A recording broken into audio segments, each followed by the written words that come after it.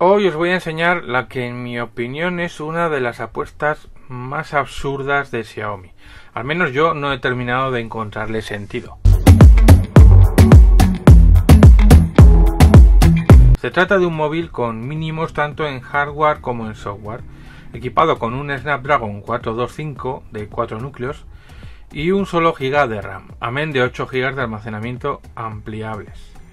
La pantalla de 5 pulgadas HD Android Go sobre 8.1 y cámaras de 5 la frontal y de 8 la trasera.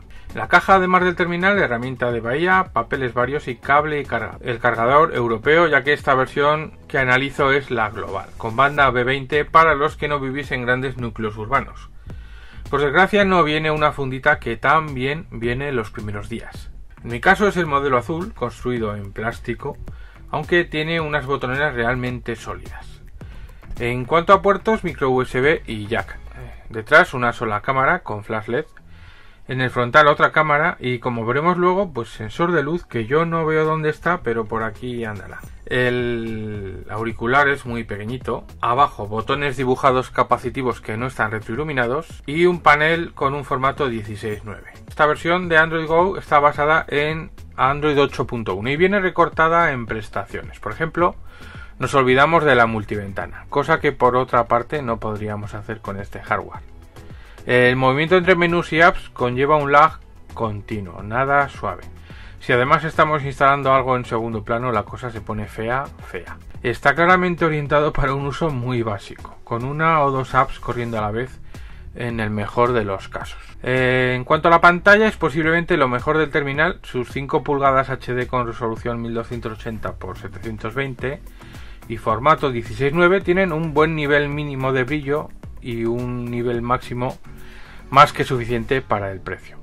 Y sorprendentemente tiene brillo automático. Lleva la resolución perfecta para 5 pulgadas, menos consumo y apenas diferencia de nitidez. Eh, como digo, lo mejor del terminal. Unos ángulos muy correctos, perfecta, perfectos, nada que objetar, ya digo que es posiblemente lo mejor de este smartphone.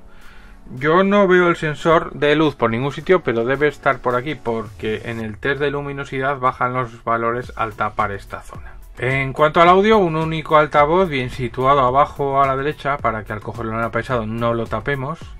Y sorprendentemente produce un buen sonido, mejor que en móviles mucho más caros. Sí que es un sonido algo cerrado, pero le da mil vueltas a otros terminales.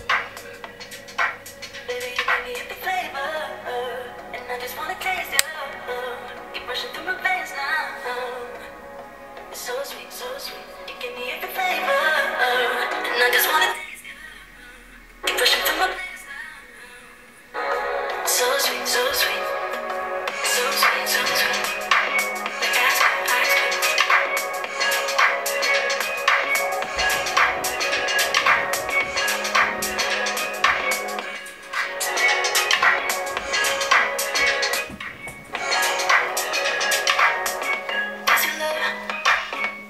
Lleva dos micrófonos que no hacen mala labor y que harán que el usuario al otro lado de la línea nos escuche bien. El nivel de protección anti-pirateo, el Widevine, pues tenemos nivel 3, tampoco es ninguna sorpresa.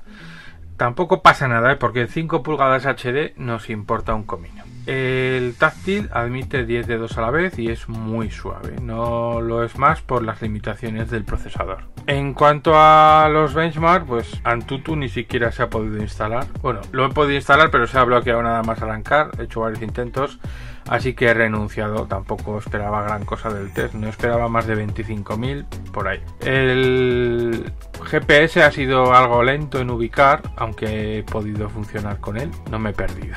En cuanto a la RAM y el almacenamiento, es un equipo muy, muy, muy básico, lo más básico que he probado en mucho tiempo, sino desde siempre.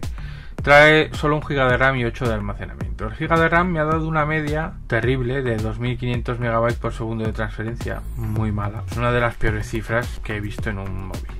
Por su parte, el almacenamiento integrado ha dado como resultado una media pues muy digna, sobre todo en lectura. En juegos, solo los juegos más básicos podrán funcionar aquí. Tampoco tenéis mucho espacio para instalar en la propia memoria. Si conseguís instalarlos en la memoria externa, pues aún. Pero con este móvil mmm, vamos no está pensado para jugar ni de lejos un Minecraft muy básico y poco más las cámaras solo tiene la frontal y la trasera la principal de 8 megapíxeles es una Samsung que podemos encontrar en un UMI Z2 Pro, por ejemplo. Los resultados de esta pues son mediocres y necesita muy muy buena iluminación y objetos quietos para no sacar tomas movidas. La frontal es la misma que monta el MI5X si no me equivoco y tampoco es que sea mucho mejor que la trasera. En cuanto a la app de cámara solo deja elegir pues la típica aplicación de Xiaomi entre tres calidades de fotografía, alta, media y baja en vídeo nos permite Full HD, HD y 480p. Eh, en fotografía el tamaño máximo es de 3264 x 2448. Pero bueno, no es este el problema de la resolución. El problema no es la resolución, quiero decir, sino la calidad. El granulado en las fotos es normal con este sensor, que por otra parte, si tenemos en cuenta el precio, tampoco vamos a cebarnos con él nada de estabilización, así que a fijar bien la mano o usar un gimbal en vídeo.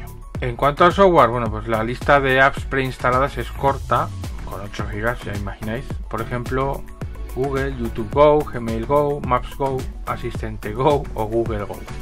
También viene preinstalado Facebook Live y una grabadora de audio. En YouTube Go, por ejemplo, nos ofrece cuando vamos a reproducir un vídeo seleccionar la calidad del mismo, baja, media o alta. Pero lo más interesante es que junto a la calidad nos muestra el peso del vídeo. Esto me parece muy útil. Sobre todo porque en un móvil de esta gama pues posiblemente vaya con una tarifa de datos muy reducida. La app que menos cambia es Gmail, donde apenas notaremos diferencias, ya es ligera la normal, así que está, pues bueno. En Maps Go no podremos usar varios dedos para inclinar el mapa, por ejemplo, son cositas que han ido quitando de las aplicaciones para hacerlas más livianas.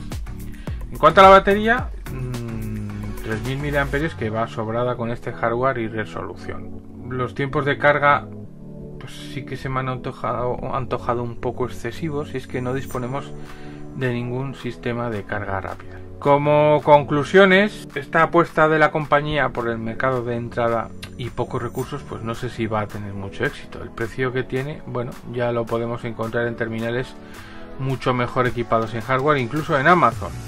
Cualquier día en Amazon tenéis ofertas por 50 euros, terminales con 3 GB de RAM y 32 de almacenamiento o incluso más. Mm, y no son más lentos que este ni en broma. La idea de un soft ligero es muy buena, pero un GB de RAM y 8 de almacenamiento debería, no porque lo diga yo, sino por cómo está el mercado, pues valer tal vez 30 euros o 35, no mucho más. No es difícil, como decía, entrar en Amazon y encontrar un terminal por 50 o 60 euros, muchísimo mejor en todos los aspectos. Y eso sitúa a este Redmi Go en una situación complicada, incluso sin irnos de marca, el mismo Redmi 6A en Amazon, cuya review ya hice en el canal, pues cuesta prácticamente lo mismo, un poco más, y vamos, merece mucho más la pena, es un móvil mucho más fluido y mejor construido. Así que creo que esta vez Xiaomi se ha patinado y no recomiendo este móvil ni en broma, vamos. Espero haberos ayudado con este vídeo, si ha sido así suscribiros y espero veros en el próximo. Bye.